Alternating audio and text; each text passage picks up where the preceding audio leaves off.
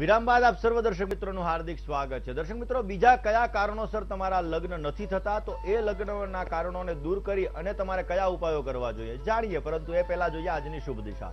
આજની શુભ દિશાની જો વાત કરવામાં આવે તો આજના દિવસની અંદર દક્ષિણ દિશા તરફ પ્રયાણ કરવું તમારા માટે હિતાવહ છે. આજે કઈ દિશા તરફ પ્રયાણ ન કરવું જોઈએ? આજની અશુભ દિશા કઈ છે? તો આજના દિવસની અંદર ખાસ કરીને વાયવ્ય ખૂણા તરફ તમારે પ્રયાણ ન કરવું તમારા માટે હિતાવહ છે.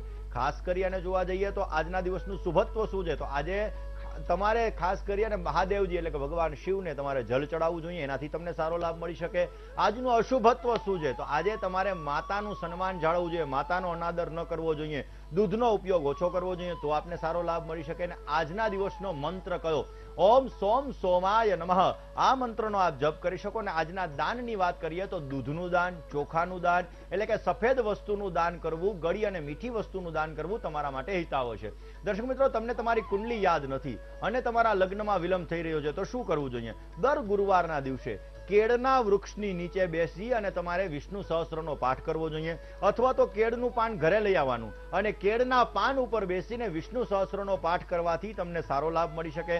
તમારી તર્જની આંગળી એટલે કે રિંગ ફિંગરની અંદર તમારે સોનાની વીટી અથવા તો તમારે પિત્તળની વીટી ધારણ કરવી જોઈએ. પોતાની પાસે પીળા કલરનો રેશમી રૂમાલ ખાસ તમારે રાખવો જોઈએ, એનાથી સારો લાભ તમને મળી શકે. જો તમે અપજશના ભાગીદાર બની રહ્યા છો, વગર કારણે તમને બદનામી મળી રહી છે, વગર કારણે તમને અપજશ મળી રહ્યો છે. તો દરરોજ અથવા તો શનિવારના દિવસે કૂતરાને તમારે બિસ્કિટ આપવા અથવા રોટલી ખવડાવી રવિવારના દિવસે ગાયને તમારે ગોળ ખવડાવો લાકડાના ફર્નિચરનો બને એટલો તમારે વધારે ઉપયોગ કરવાથી તમને સારો લાભ મળી શકે છે. દર્શક મિત્રો, જે વ્યક્તિના ઘરની અંદર નૈઋત્ય ખૂણો ખરાબ હોય અને એ વ્યક્તિના ઘરની અંદર ઇલેક્ટ્રિક અને ઇલેક્ટ્રોનિક્સ આઇટમો વધારે બગડશે આવા વ્યક્તિને ક્યાંક ને ક્યાંક ફાઇનાન્શિયલ સિચ્યુએશનમાં પણ તકલીફ આવશે. આવા વ્યક્તિઓને ક્યાંક ને ક્યાંક અનેક જાતની મુસીબતોનો ભોગ પણ બનવું પડે કે નેવું થી નવ્વાણું ટકા એ કામ આવીને અટકી જાય આવી વસ્તુ પણ બની શકતી હોય.